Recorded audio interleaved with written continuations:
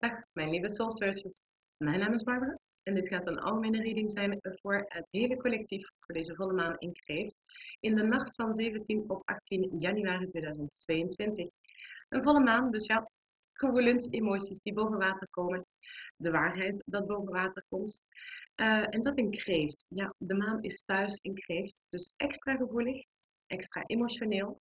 Zeker voor de kreeften onder ons, maar voor iedereen sowieso extra voelbaar. Want ja, kreeft is voor mij de moeder-energie, de moederfiguur. Het gaat over het huiselijke, de geborgenheid, de veiligheid binnen een huis, kokon, gezin. Um, gevoelig, verzorgend, durft zich kwetsbaar op te stellen. Dus dat zijn hele vrouwelijke energieën voor deze volle maan. Um, en dat terwijl dat de zon in Steenbok samen met, even spieken, Pluto um, in Steenbok, alle twee eigenlijk ambitieus vooruit willen gaan bouwen, um, de toekomst in willen gaan, iets stabiel en concreet willen bouwen. Dus er is een soort van dualiteit, een trekken en duwen energie tussen het gevoel dat nee, thuis cocoonen, veiligheid, emoties, vrouwelijkheid, tegenover het bouwen, gaan, verantwoordelijkheden, taken en vooruitgaan. Dus het is echt wel een, een, een, een taak, een zaak om uh, balans te proberen te vinden tussen beide energieën die heel sterk aanwezig zijn tijdens deze volle maan. Daarnaast hebben we een aantal uh, retrograad. Venus is nog steeds retrograad tot de 29ste. Dus we zijn er bijna vanaf, maar nog niet helemaal. We zijn dus echt nog aan het uh, herevalueren wat relaties betreft. Ehm, connecties in de breedste zin, ja, relaties in de breedste zin van het woord. En um, het financiële aspect. Voor de ene zal het meer relaties zijn, de andere meer uh, binnen het financiële. Omdat Venus beide regeert. Dus evaluatie, um, wat wil ik niet meer, wat past er niet meer bij mij, waar wil ik naartoe. En um, dus echt wel een introspectieve periode in deze winter, zou ik willen zeggen. Um, en dan hebben wij ook nog vanaf morgen Mercurius, dat ook retrograde gaat. Mercurius is de planeet van de technologie en van de communicatie. Dus omdat hij dus, ja, normaal gaat hij drie keer per jaar uh, achterstevoren, retrograad. Nu is dat vier keer dit, dit jaar, dus het wordt extra challenging. Um, als die retrograad gaat, dan loopt de communicatie dus wat stroever, wat moeilijker. We komen niet uit onze woorden. De technologie kan het ineens laten afweten om geen enkele ja, logische reden. Dus zorg dat je backups maakt van harde schijven en dergelijke, uh, want het kan ineens kapot gaan. Um, check papieren, contracten, belangrijke papieren en documenten die je moet tekenen. Probeer dat of dan wel te verplaatsen naar na 4 januari, uh, februari als de retrograde voorbij is. Mocht je het echt niet kunnen verplaatsen, lees het dan 15 keer extra door om een zekere kleine lettertjes, om zeker te zijn dat je niet in een zak wordt gezet, uh, dankzij Mercurius. Na 4 februari gaan alle planeten weer vooruit. Dus na die begin februari gaan we dus echt wel al die vooruitgang beginnen te voelen. Nu is het even een tijd van oh, ja, terugtrekken. Niet retrograde, terugtrekken. Evalueren, doorvoelen, cocoonen. Dus wees lief voor jezelf. Geef jezelf de tijd en de rust die je nodig hebt. Bemoeder jezelf. Um, het zijn woelige tijden en met al deze planeten gaat het op wereldelijk vlak ook echt wel woeliger worden. Omdat waarheden boven tafel komen, omdat er um, ja, verstoringen plaatsvinden. Dus daarin ja, eigen innerlijke rust proberen te vinden tussen de, de, de gevoeligheden, overgevoeligheden die je voelt, die met deze volle maan uh, persoonlijk, intern. Maar ook de onrust die je voelt om je heen. En daar is inderdaad ja, de rots in de branding proberen te zijn in, uh, in het geheel. Ik ben uh, heel benieuwd wat de tarot hierover te vertellen heeft. Dus we gaan het even zien. Het is een algemene reading, dus neem wat voor je past. De rest liggen. Ik heb hele maand januari uh, per sterrenbeeld een reading gedaan. Heb je die nog niet gezien? Dan zal ik de link er toevoegen aan het einde van de reading. Rechtvaardigheid, balans, jawel. Uh, like, deel, abonneer, klik op het belletje, blijf je op de hoogte wanneer ik nieuwe video's post. Wij zijn eindelijk aan de 7000 geraakt. Ontzettend bedankt en dat net voor het nieuwe jaar. Dus heel erg fijn. Uh, heel mooi cadeau die jullie mij gegeven hebben. Blijf het vooral doen. Um, we gaan even zien. Mhm. We hadden dus nummer 38, rechtvaardigheid. Moeilijk te zien, maar dit is voor mij weegschaalenergie. Met, ja, het kan spreken over een beslissing nemen dat in akkoord is tussen je hoofd en je hart. Een balans vinden. Het juiste doen voor jou, wat rechtvaardig is voor jou. Het zou absoluut wel besluitvaardigheid kunnen zijn in deze. Ik heb nummertje 11 volgens het boekje. Moeilijk te zien met zoveel licht. De dingen volgens het boekje doen. Um, huisje, boompje, beestje krijg ik hier een beetje bij.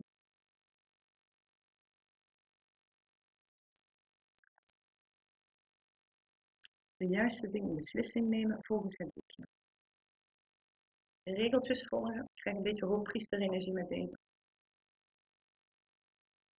Vanuit een hoger bewustzijn, vanuit eh, de maatschappij. Hij kan naar ondersteboven. Dan weet ik niet of ik orakelkaarten ook ondersteboven moet lezen, maar is het juist tijd om de dingen niet volgens het boekje te doen. Ik heb samen creëren nummer 40. Ja, moeilijk te zien. Ik heb hier een luipaard of een jaguar of een, een katachtige, een wilde, die snel is, die sluw is, die vooruit gaat. En ik heb een uil. En deze twee samen creëren een heel mooi ei, waarbij de kwaliteiten van beide geïntegreerd worden in dat nieuw begin. Dus het is inderdaad een, er is een nieuw begin. Er is een beslissing wellicht die genomen moet gaan worden voor een nieuw begin. Maar het is precies samen met um, ja, een connectie. Nogmaals, in de breedste zin van het woord. Dit kan um, ook een, een, een samenwerkingsverband zijn. Waarbij twee verschillende, of überhaupt verschillende kwaliteiten bij elkaar gemengd worden. Om tot iets heel moois en nieuws te komen. Maar de dingen wel volgens het boekje. Ook wel eens even zien. Voor deze volle maan, 17 januari 2022, voor het collectief. Wat is de boodschap voor deze volle maan? Energie, de volle maan. We hebben de keizerin, vruchtbaarheid, oppervrouwelijke energie. En de vijf van pentakels, financiële materiële veranderingen. De vijf van pentakels spreekt voor mij over bang om je te binden, bang om verlaten te worden, bang om er alleen voor te staan, bang voor het financiële tekort. Het is echt wel denken in tekort, in te weinig, in hm. Maar er zijn veranderingen op komst, maar die creëren wat angst op dat vlak. Is het nieuwe liefde dat binnen is gekomen, willen jullie de dingen volgens een boekje doen, maar creëert dat bepaalde angst van, ja, maar wat als? Ik bebind en het vertrekt. Een nieuw project creëren, maar wat als het financieel niet? Maar we zijn wel aan het creëren met de vruchtbaarheid de keizerin energie. Heel vruchtbaar. Dit is het nieuwe aantrekken, manifesteren, creëren, vruchtbaarheid. Ja. Vrouwelijke energie. Open en ontvankelijk. Op zich wel, God is het absoluut kreeft. Maar uh, omdat kreeft voor mij dus inderdaad op de, de, de, de de vrouwelijke energie En hier krijgen we gewoon een overtreffende trap de oppermoeder. We gaan het verder zien. Wat is de uitdaging? Dat is duidelijk.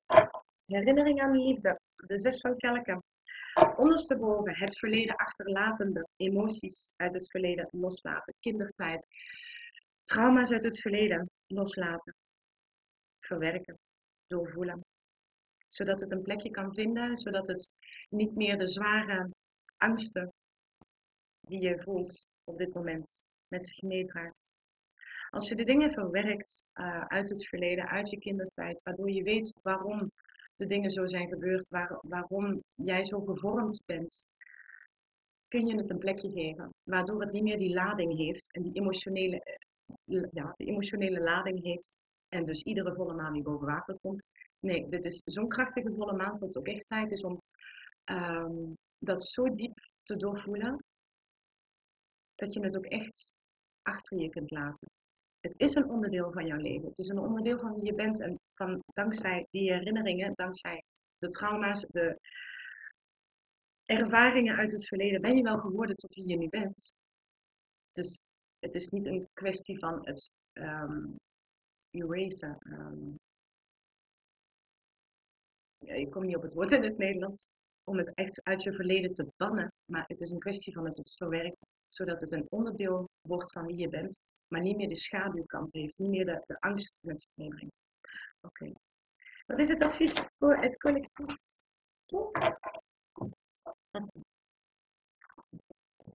Ik heb de strategie van de betraging. Ik heb hier van alles. Ja. Ik ga ze wel pakken, want aan mij. Ik moet zeggen, met het voorschudden kreeg ik deze ook en deze is nu ondersteboven. In stilte leiden. Ik heb het gevoel dat we inderdaad tijdens deze volle maan wel eens een beetje in stilte zouden kunnen gaan leiden. Uh, je terugtrekken, heel ja, wakker liggen van allerlei angstige gedachten, negatieve gedachten. Het is tijd om dat te doorbreken. Deze is namelijk ondersteboven. Het einde van in stilte leiden. Ik heb mij de waarheid, het oordeel nummer 20 en die direct erachteraan 21 met het universum, de wereld. Dit zijn de laatste twee kaarten van de grote arcanen. Dit is een belangrijke fase, een belangrijke cyclus die je aan het afronden bent. Voor mijn gevoel zeker ook omdat het in, de, in het advies zit, is dit iets wat jij zelf ook in gang zet. Het is tijd om iets af te ronden. Een deel van jouw verleden echt af te ronden. Het oordeel is een, uh, een verlossing, een halleluja moment, een, een verlossing. Voor mij, ik noem dat ook versie 2.0, die herrijst uit de dood. Een nieuwe jij die herrijst. En met het universum, de wereld, ja, het einde van de fase, het einde van de cyclus, het einde van een deel van jouw leven, een nieuw begin. Een nieuwe cyclus. En ik heb dus twee van pentakels. Nee, de twee van staven. Strategie van de vertraging. Dit is nieuwe dingen aantrekken, manifesteren. Nou is het normaal niet tijdens de volle maan het moment om dat te doen. Maar het is wel, ondanks de gevoelens die je doorvoelt, de gevoeligheid die je hebt tijdens deze volle maan, ondanks dat ook wel naar de toekomst durven te blijven kijken, hoopvol, nieuwe dingen aantrekken, manifesteren, maar iets totaal nieuw precies. Patronen doorbrekend krijg ik hier. Oh, ben benieuwd als ik dit verder ga verklaren. En wat is dan de uitkomst van deze reading als we dit allemaal zo graagjes doen? Schaduw, de maan. En de vier van kelken ondersteboven. Ontevredenheid en verveling wordt doorbroken. Dit is een gemiste kans, een tweede kans. Nee, een tweede kans, moet ik zeggen. Een openstaan voor. De vier van kelken is iemand die staat te staren naar drie kelken die leeg zijn. Die, is dit het leven? Is dit het nu? Is dit, is dit het? Is dit alles? Hier is die ondersteboven. Hier uh, durf je groter te kijken dan hetgene wat er niet is. Maar durf te kijken naar de opties die er wel zijn. Ieder einde is een nieuw begin. Dit is een einde van iets, maar dat gaat precies een hele nieuwe wereld voor je open. Ik heb het gevoel samen, want ik heb echt wel samen creëren. Co-creëren met het universum, co-creëren met anderen. Voor anderen is het echt wel een stabiele nieuwe basis creëren op de langere termijn. Maar dat is iets wat in akkoord is tussen je hoofd en je hart. Niet meer alleen vanuit het hoofd, niet meer alleen vanuit het hart. Nee, het is een balans. Het is heel stabiel. En met de maan. Intuïtie. Wat ik zeg, gevoelens die boven water komen, emoties, um, de waarheid. Vanuit je hoger bewustzijn, je hogere zelf, deze lijkt in, in, in gesprek te zijn met zijn hogere zelf. En durft zichzelf recht in de spiegel aan te kijken, zijn schaduw recht in aan te kijken. En we hebben allemaal, wij leven in een duale, duele, duale wereld. We hebben allemaal donker en licht in ons.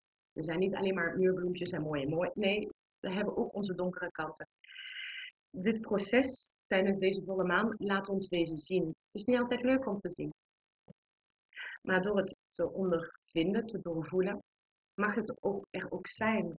Jouw schaduwkant, jouw angsten, alles wat, jou, ehm, wat in jouw angsten creëert, is daar ook voor een bepaalde reden. En hier omarm je jouw schaduwkant. Je weet wie je bent. En met die schaduwkant, hand in hand, ga je naar de toekomst. Oké, okay, dat heb ik onderop. De vijf van zwaarde, conflict en nederlaag ondersteboven. Dus het is wel het einde van een mentaal conflict, een strijd die je levert, interne strijd wellicht, of met anderen. Einde van het conflict. Goed, verklaar de vruchtbaarheid en de finishing materiële veranderingen en de energie van de is. Is communicatie. Aha, oké. Er zijn heel veel kaarten die zich herhalen. Ik heb namelijk het oordeel. Dus dit is een judgment call. Dit is een, het is er al precies. Want het zit in een advies, maar het zit ook in de huidige energie. Er is al een wedergeboorte, een halleluja moment van verlossing, een beslissing genomen, wellicht. Wat bepaalde angsten met zich meebrengt. Communicatie. Maar het is wel heel vruchtbaar. Het is wel iets wat heel veel mogelijkheden biedt voor de toekomst met de, de keizerin. Ik heb de hoogpriesteres ondersteboven. De hoogpriesteres spreekt over intuïtie. Zij weet de waarheid. Zij vertrouwt op um, haar intuïtie, haar hogere zelf. Ik zeg haar, het is hoogpriesteres, maar. Maar die is ondersteboven. Alsof de. Mm, aha. Je vertrouwt precies niet op je intuïtie. Er is al iets besloten, een, uh, een ingeving geweest. En er is iets wat heel, heel veel potentie, heel pot potentieel met zich meebrengt. Um, maar het creëert wat angsten. En je luistert een beetje te veel naar die angsten en niet genoeg naar je intuïtie. Want jouw intuïtie zou kunnen zeggen, dat erop, dit komt goed. Oké. En ik heb de twee van staven ondersteboven. De twee van staven zit ook in het advies, maar recht overheid. De twee van staven is ondersteboven, oh, dit is normaal aantrekken, manifesteren. Dit is meer mm, een soort van frustratie, een, een mm,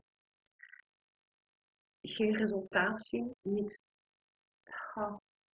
Het is precies alsof je niet naar de toekomst durft te kijken, niet te ver naar de toekomst, omdat er wat angsten boven water komen. Okay. Er is iets wel wat snel komt, veel communicatie met zich meebrengt. Maar wat jou inderdaad een beetje, ehm, omdat het misschien financiële materiële veranderingen met zich meebrengt, sommigen zeker, kan het wat angsten met zich meebrengen. Maar we hebben dus hier in de uitdaging het verleden loslaten. Herinneringen aan liefde. de uitdaging alsjeblieft.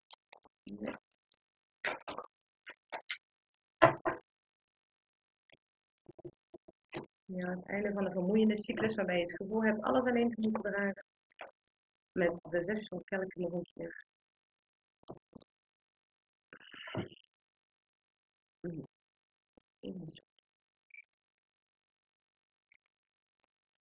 Heel veel kelken. Voor deze volle maan niet, niet vreemd. Ik heb de zeven van kelken. Keuzes, opties, mogelijkheden hebben, maar niet kunnen kiezen. Wat ik zeg, dan gaat hier een hele wereld voor je open, maar het is alsof je dus niet daardoor wat verwacht bent van wat is nu de beste optie, wat is de beste aanpak, hoe moeten we dit doen volgens het boekje. Een keuze maken, maar het is een beetje verwarring van oké, maar welke kant gaan we op? Ik heb de zes van kelken. Kinderen, kindertijd. Nog een keer, dit kan iemand uit het verleden is, dus, uh, zijn die terugkomt. Dat hoeft geen ex te zijn, maar dat is iemand die je, waar je al een connectie mee hebt. Maar ik heb ze dus nu en recht overeind, eh, recht overeind en ondersteboven. Voor sommigen is het inderdaad, het komt even terug om het los te laten. Of het komt terug, maar dan moet je wel het verleden loslaten. Alles wat jullie al eerder hebben meegemaakt, gekend hebben, moet losgelaten worden om een nieuwe basis te creëren. Er moet echt een cyclus beëindigd worden, afgerond worden. En ik heb het Rad van Fortuin, ondersteboven. Dit is niet de perfecte timing. Dus het kan zijn dat het te snel gekomen is, te langzaam gekomen is. Er is iets met de timing dat een beetje off is. Een beetje uitstelling, uitstel, een terugkerend patroon, probleem. Iets dat terugkeert. Maar wat jou precies in verwarring brengt. Mm Dat kan een patroon zijn die terugkeert. Iedere keer als je iemand nieuw leert kennen, kom je dit tegen. Of iedere keer komt deze persoon of herinnering terug. Dus een terugkerend probleem, een patroon dat doorbroken zou moeten worden. Maar dat is de uitdaging, want het creëert wel heel veel verwarring. Oké. Okay. Verklaar het advies alsjeblieft voor het collectief voor deze volle maan in kreeft.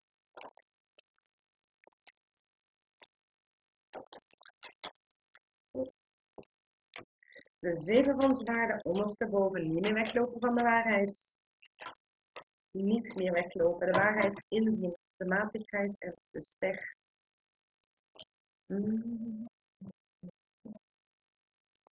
De matigheid, boogschutter, energie is water bij de wijn doen, een compromis vinden, geduldig, langzaam.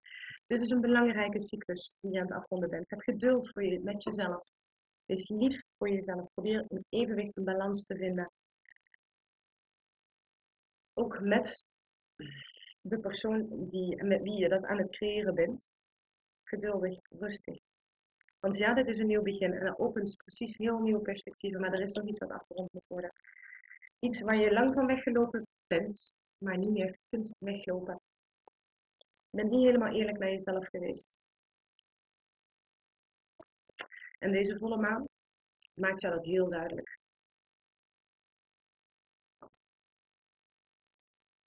De matigheid is voor mij ook echt wel heling. En ik heb de sterren, dat is ook heling, maar hij komt ondersteboven. De ster ondersteboven is, spreekt over hopeloosheid in plaats van hoop naar de toekomst. Precies uh,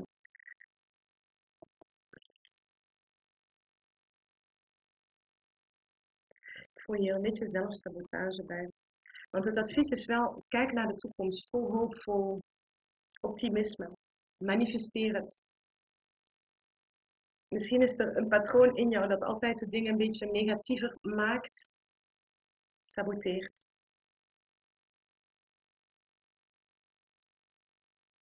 Tijd om dat te helen. De ster moest worden.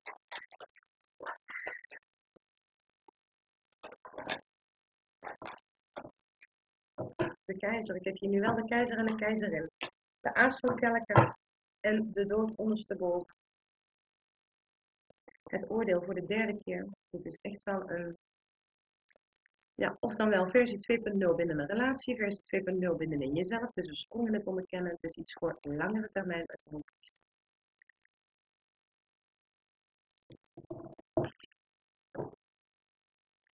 Het kan voor sommigen absoluut iemand uit het verleden zijn dat met Venus retrograde is dat nu eenmaal het ding.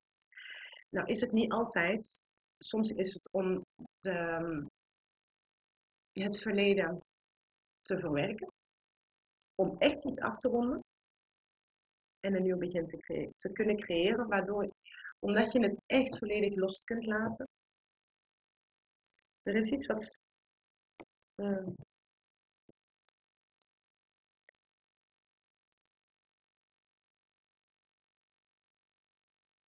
zeggen, waar je geen hoop in had maar je loopt weg van jouw waarheid. Het is niet waar. Ik hier een beetje bij. Moet water bij de wijn doen. Want ja, de keizer. Ik heb hier een goddelijke koppel. Zelfstandig, onafhankelijk.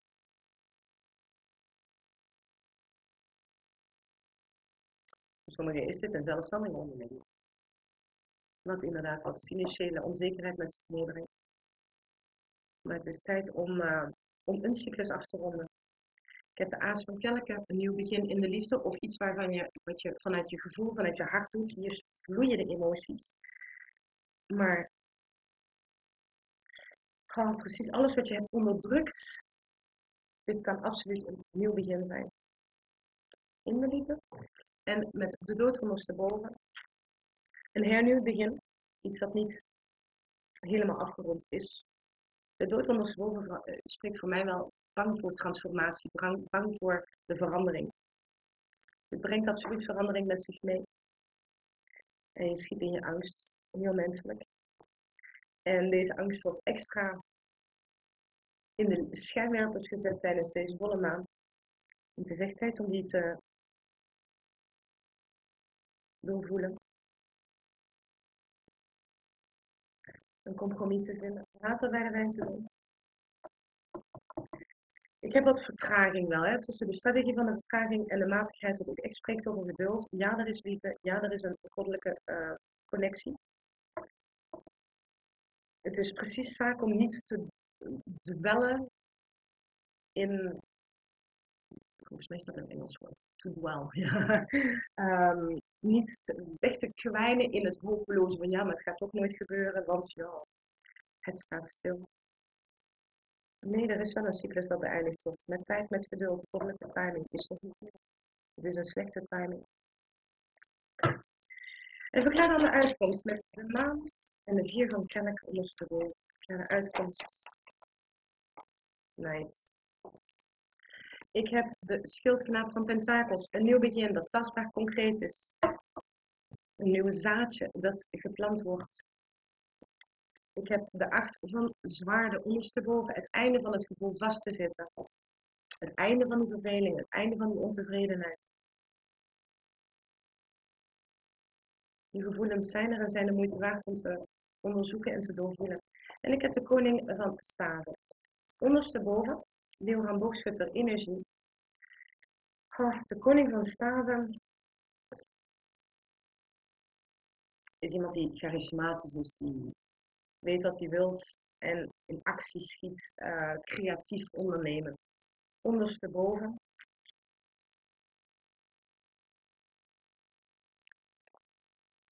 Kan een beetje arrogant zijn.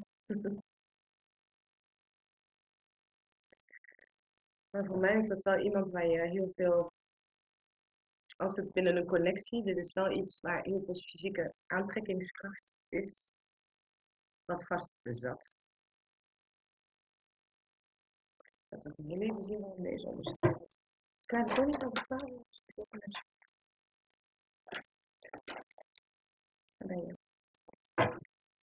Het scheelt klaar. Dat gaan allemaal niet doen. Tien van tentakels was een beetje apart. Dus geluk op langere termijn kan het koning in staven shift. Oh, dat is stabiel.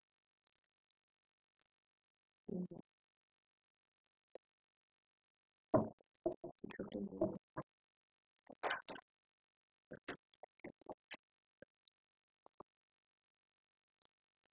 okay. die heb ik misschien omdraaien.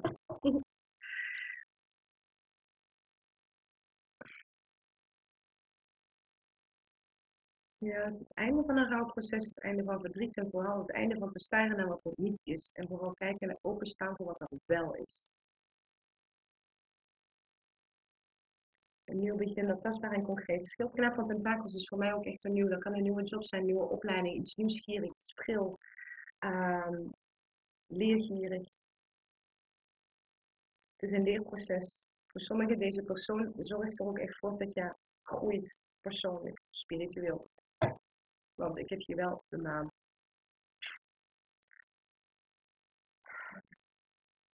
Dus ja, deze koning van staven wordt vergezeld met de schildknaap van zwaarden. Uh, nieuwe communicatie. Mm.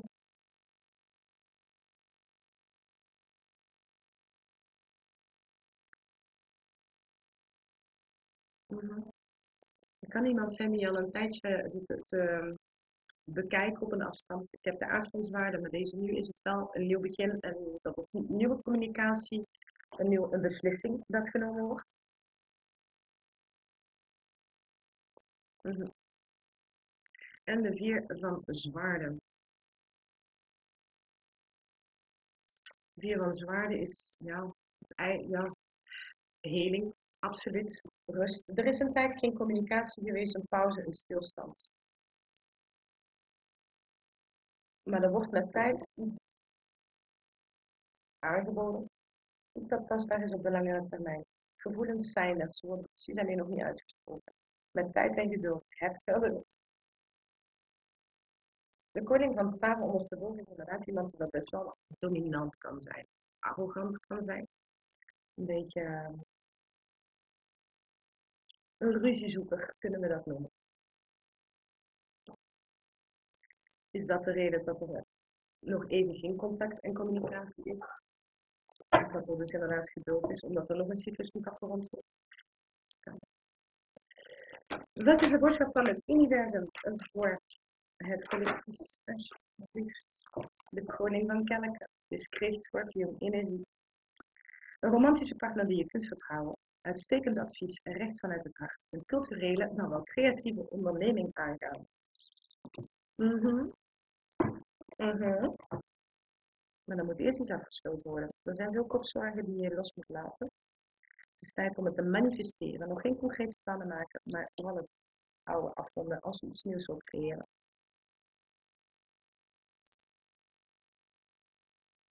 De goddelijke timing komt nog en dat is inderdaad zo richting februari.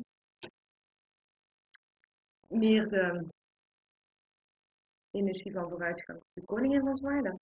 Laat mensen of dingen die je niet meer dienen los. Een goede tijd om je op je carrière te, te richten. Ongetrouwde of gescheiden mensen.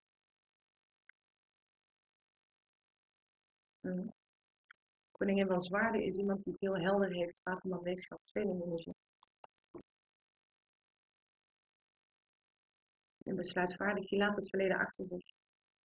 En dat is wel hetgene wat je doet of het nou emotioneel, financieel, professioneel. Deze volle maan zet jou wel aan tot uh, een beslissing nemen naar de toekomst toe en het verleden loslaten. Vernieuwing. Het oordeel, die heb ik dus nu echt van alle kaartdekken al gezien. Kijk goed naar het verleden en het heden om een prachtige nieuwe toekomst te creëren. Je levensdoel inzien. Oordelen over jezelf en anderen loslaten. Dit is die versie 2.0 van jou die aan het herreizen is uit de dood. Of binnen een connectie. En de wereld. Amai! Een geweldig succes, de vrijheid overal heen te gaan. Een reis die nog voort is.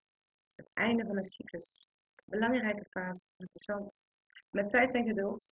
We zijn dit is nog niet, uh, is nog niet helemaal afgerond.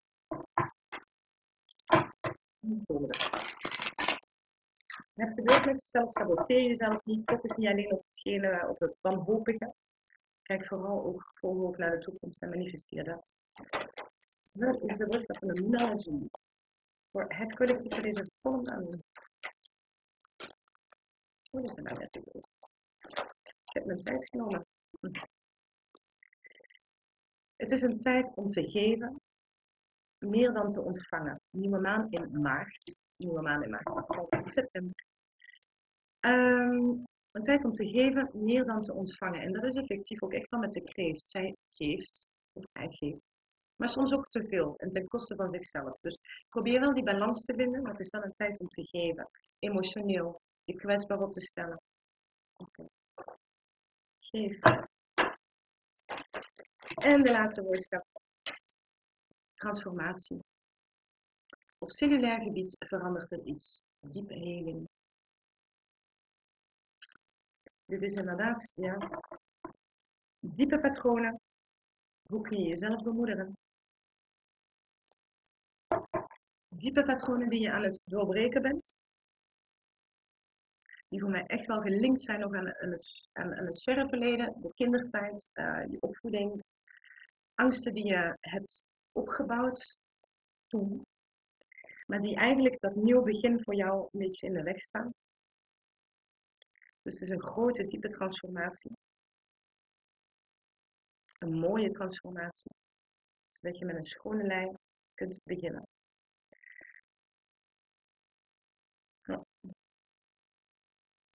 Oké, ik ben heel benieuwd hoe dit voor jou persoonlijk resoneert. Dus laat me zeker iets weten. Ik ben altijd heel blij en heel dankbaar voor al jullie berichten. Like, deel, abonneer. Klik op het belletje. Blijf je op de hoogte wanneer ik nieuwe video's post. Ik wens je een, een zelfliefde, liefdevolle, uh, volle maan. Bemoeder jezelf, want deze transformatie is intens. Deze volle maan is intens. Een tijd om te geven, maar ook echt aan jezelf te geven. Neem de rust, neem de tijd voor jezelf. Bemoeder jezelf. Ik, uh, ik stuur je alle liefde en licht toe voor de komende periode. Dankjewel voor het kijken en ik zeg tot snel.